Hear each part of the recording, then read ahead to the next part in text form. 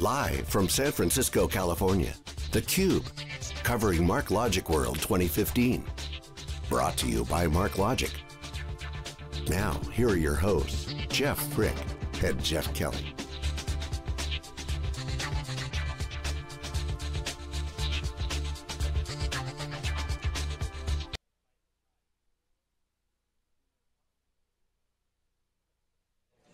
Welcome back, everybody. We're live here at MarkLogic World 2015. I'm Jeff Kelly. I'm here with my co-host, Jeff Frick. Uh, we're joined by our next guest, Tavo De Leon, who is the Senior Director of Big Data Strategy Solutions uh, in Cognizant's Enterprise Information Management Group. Uh, Tavo, welcome back to theCUBE, a CUBE alum. We appreciate you coming back. Well, thank you for having me. Uh, you know, we're at Cognizant big fans of you guys, Excellent. theCUBE, Wikibon.org. Uh, so uh, it's a great pleasure to be here, and uh, I'm thrilled. Well, we're happy to have you. So, uh, talk a little bit about, we're here at MarkLogic World. Um, you know, we've talked in the past on the cube about big data and about Hadoop, but now we're talking about MarkLogic and kind of their interesting approach to NoSQL. Yeah. Talk a little bit about the relationship with Cognizant and MarkLogic. Well, it's, it's different than you'd expect in the big data world. We've had a relationship with them for over seven years, almost eight. Uh, so it's a very mature relationship as far as like not only understanding the technology at its depth, but we've seen the evolution of it over time, which has been quite fascinating for us and our customers, our enterprise customers. Um, so today we're right up there with them with you know the enterprise needs are really becoming the thing that's the most important. And we're finding that there are some cases where people get things, products, projects to a certain state of readiness and not having that enterprise capability prevents either functionality from going out or the product or the process gets canceled. Talk about enterprise, right? We, the, the term gets thrown around Yeah. a lot. Enterprise ready, you know, this is an enterprise solution. Right. You talked about the evolution, you talked about people hitting walls. What are some of the really critical things that make it enterprise? Okay, so um, enterprise really means large corporation. You know, where, where there's lot, there's lots at stake. And for most of these companies, either at an IT or in a business level, it means that you have ACID compliant transactions, which basically means is when you commit something to the database, it's committed and it's in, involatile. So that's very important to our customers, and they're used to that coming from an RDBMS background. Uh, the other part of it is the whole idea of disaster recovery, uh, that the facilities are built in, point in time recovery, backups on an active queue with a large cluster. These are things that in other NoSQL technologies and, and other big data technologies, you truly have to engineer on your own if you're out in front and you, or you have to wait for an open open source project to come along to support that, and it may not be a direct support of your enterprise need. MarkLogic already has answered a lot of those questions, and so those people in the enterprise are much more comfortable to deal with those things, and things move along more quickly. Well, talk about the evolution of Mark MarkLogic. You've been a, a partner, I think you said, for about seven years, so you've seen it come quite a long way from really kind of a point solution uh, to a more of a comprehensive database platform. Right. Talk about how that evolution has occurred and how you've seen usage within the enterprise, your enterprise clients kind of change along with the evolving capabilities of Mark MarkLogic. So I think the most important thing is is that um, they started out, and we worked with them as a content management company. And we did a, an incredible amount of really good uh, work with them in the communications industry, uh, entertainment industry, et cetera, just as you might expect with content management. Right, right. Um, and then there was a period of time where um, you know work went different ways, and they realized that they needed to evolve into something much more than that to be what they are today. On the other side, our business is evolving very differently in that we're finding that this year, digital transformation is what's really key to the enterprise. And we're dealing with that at every level, from the board level down, all the way through IT stack. And we find that it's, it's companies like MarkLogic that are highly responsive to that and make it so that, it, that it's possible. Um, and make it so that it's in some ways easy uh, or easy to explain. Because there's just so much different data that needs to come together to have a productive digital experience for an enterprise that actually generates revenue. So, talk a little bit about the you know some of the success stories you've seen in, your- in your enterprise customers in terms of leveraging MarkLogic, probably bringing in other types of technologies as well. Kind of no technology lives on an island. Right, What are some of the right. what are some of the cooler things you've seen? Um, kind of differentiating capabilities companies have been building. so one of the, one of the most interesting things we've seen it's it, it's actually a little boring, uh, but it's we've seen a, an entire large uh, healthcare organization is collapsing all of their silos into a MarkLogic cluster. Uh, so this very diverse, uh, I guess it's somewhere between 20 to 30 silos over the next couple of years will be collapsed onto a single platform. And this is just hasn't existed before. It'll all have the same security. It'll all have all the same uh, rights, privileges, accesses. Um, all the data will be together, and finally they'll be able to do these analytics across these data sets that have never been possible before in a very flexible way as their business changes. Um, and for a lot of these healthcare companies, they're finally having to deal with a, a customer rather than an insurance policy member. And that's a huge data change when you think about an RDMS table. I mean, you're literally flipping it over and turning it around. Right. And you need a flexible data model, a schema that you can be reactive in that way to that business. You know, that's purely a government regulation that drove that. That's a disruptive event that occurred you know, MarkLogic is allowing that company to go forward with it in a very positive way.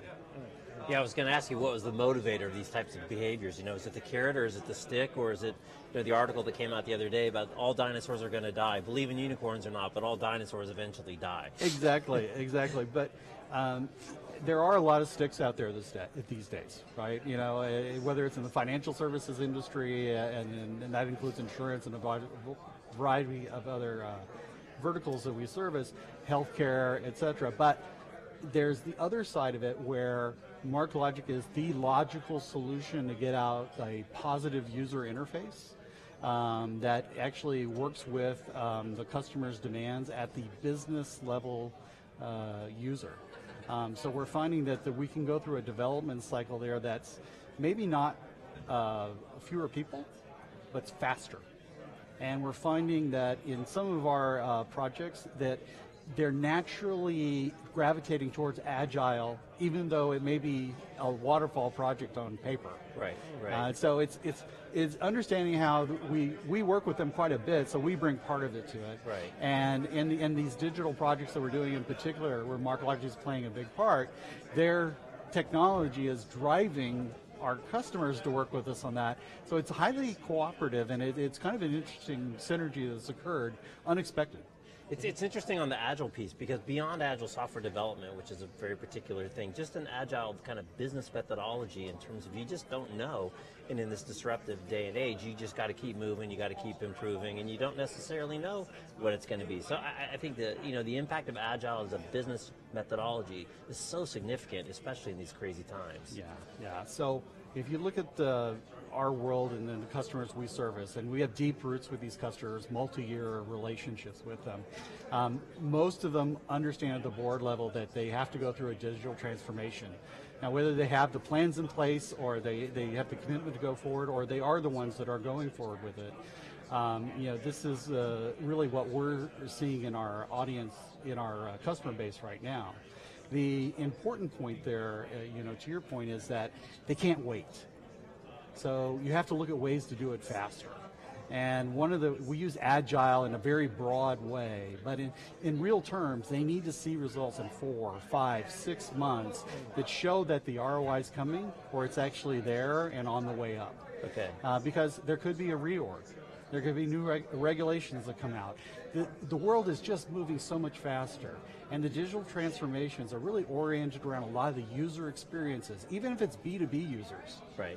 And that is evolving every day. And we've got yet one disruption after another. As you guys catalog, as you go through all these conferences as you go to. Right, right. And you've got to be able to be responsive to that. And if you can't, then you know you're always going to be one disruption behind, and maybe you're irrelevant. Yeah, yeah.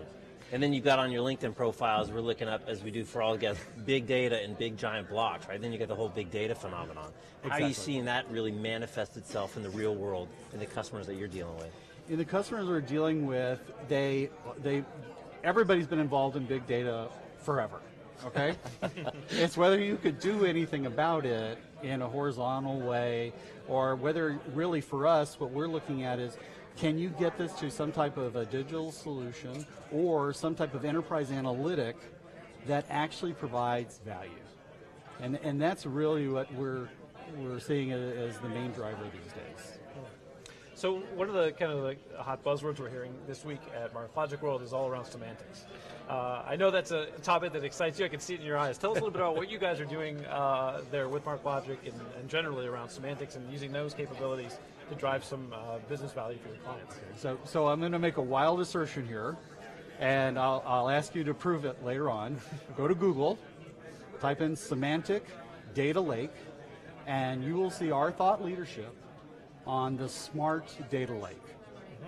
This is a semantically driven data lake architecture using big data technology. This is some incredible thought leadership, and we actually have our our author of it here, Thomas Kelly.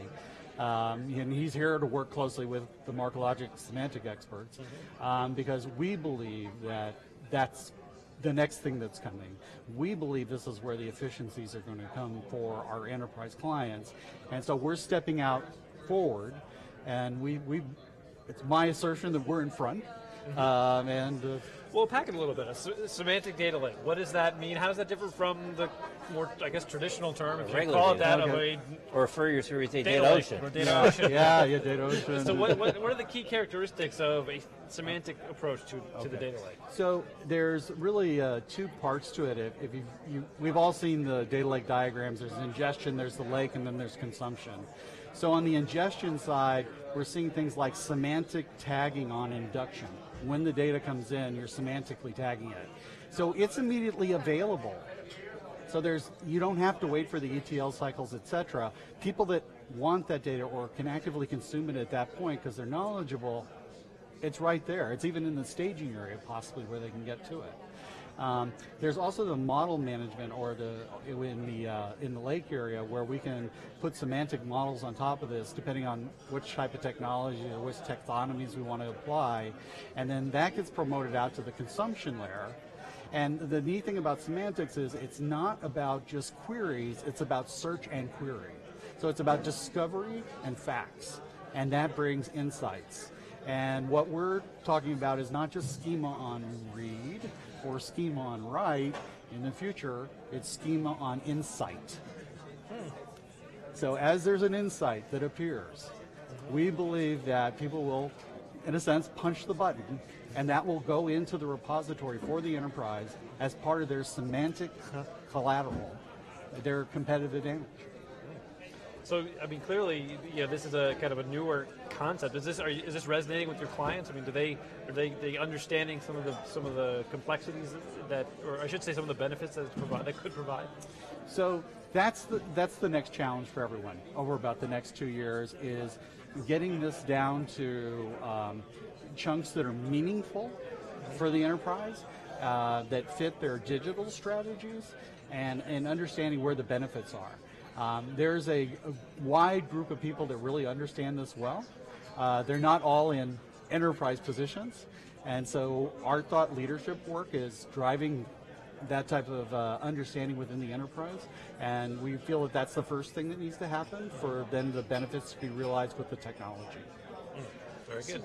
Uh, so we're running close on time. Okay. So we've got. I want to give you the last word. So I mean, talk a little bit about this event, um, kind of maybe your future plans to the extent that you can share with MarkLogic, how you see this uh, uh, relationship kind of evolving as MarkLogic continues to add capabilities, and as of course as you kind of build your practice yeah. Uh, yeah. around big data. So it's funny because MarkLogic and, and Cognizant share a lot in the way of DNA, you know, customer excellence and, and delivery and, and a passion. And we're in business with MarkLogic as a strategic alliance, not so much as they're a database vendor, and we're looking to uh, uh, you know have projects with lots of database work. We're really working with MarkLogic strategically on solutions, either horizontal solutions that we can bring to market or vertical solutions that are very important. We find that their stack is highly conducive to taking our IP and translating it into things that our customers immediately get or long-term problems that they've had and have been gnawing at them, or their new regulations, as you pointed out earlier, that are now in the forefront. Right, right. And it's really vendors like MarkLogic that make that much easier to do. They're solution oriented, we're solution oriented, it's a good match. Well, Tavo, thanks again for joining us on theCUBE. I'm sure we'll have you back again soon. Our paths seem to cross more and more frequently, so that's great. Uh, de Leon from Cognizant, thanks so much for joining us here on theCUBE at MarkLogic World. My pleasure.